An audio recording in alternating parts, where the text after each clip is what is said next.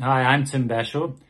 I'm here to tell you the Link story, which actually started at our dining room table back in June 2010, when my late wife Margie, who at the time was in the middle of a chemotherapy cycle, told me that she wanted to help children to read because she believed from her teaching experience that learning to read was an essential life skill that needed to have been developed in a child by the age of eight or nine.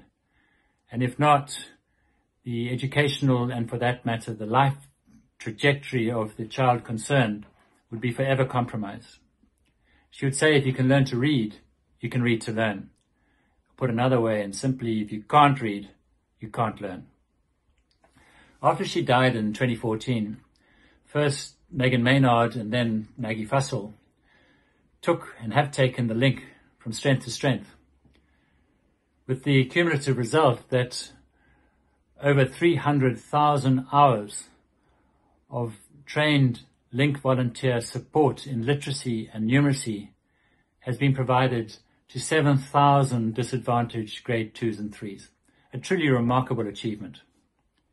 And the children at the link, in the link program, come from a variety of single parent, grandparent and child-led homes.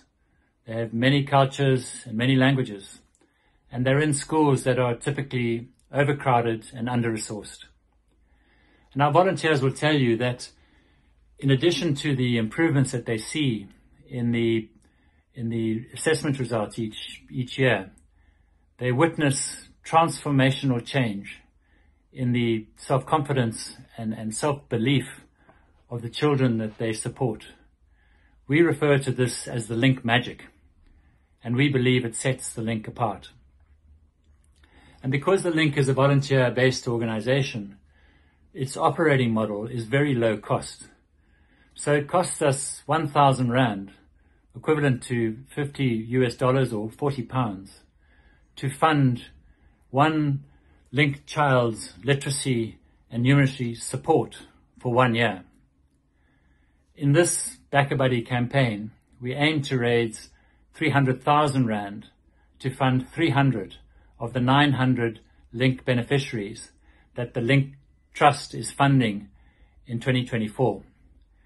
And our ask of you is to please donate as much as you can afford to help us change the life trajectory of these struggling disadvantaged children. Thank you.